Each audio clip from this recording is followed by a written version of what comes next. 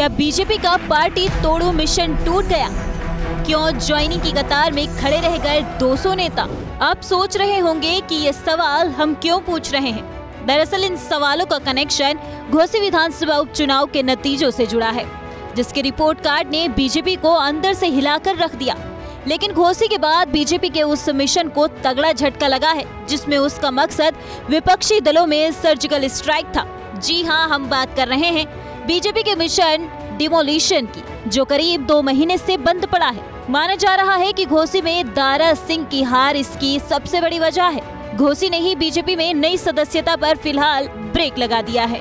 अब बीजेपी के mission demolition के ध्वस्त होने और नई सदस्यता के रुकने से अलग अलग पार्टी के 200 नेता अपना सियासी भविष्य तलाश रहे हैं।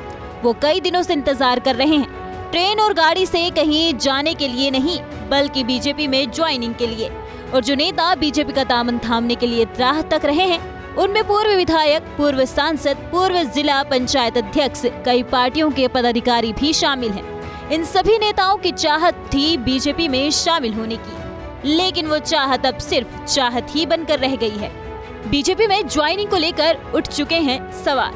ऐसा पहली बार नहीं है जब बीजेपी में ज्वाइनिंग को लेकर सवाल उठ रहे हो।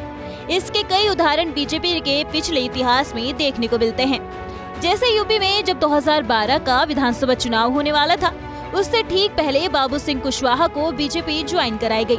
हंगामा बढ़ा, सवाल खड़े हुए तो उन्हें पार्टी से आउट कर दिया गया। 2019 में लोकसभा चुनाव में भी ऐसा ही कुछ हुआ। चुनाव से पहले बाहुबली राजन तिवारी को बीजेपी की सदस्यता दिलाई गई। तब फिर सवाल खड़े हुए तो राजन तिवारी को पार्टी से बाहर का रास्ता दिखा दिया। अब सवाल ये कि उन 200 नेताओं का क्या होगा और बीजेपी में जो ज्वाइनिंग रुकी हुई है वो कब शुरू होगी?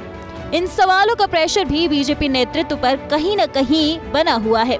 हालाँकि माना जा रहा है कि बीजेपी अक्टूबर महीने में एक बार फिर से ज्वाइनिंग प्रक्रिया को शुरू कर सकती है, जिसका असर आगामी लोकसभा चुनाव में कितना होगा, वो तो वक्त ही बताएगा।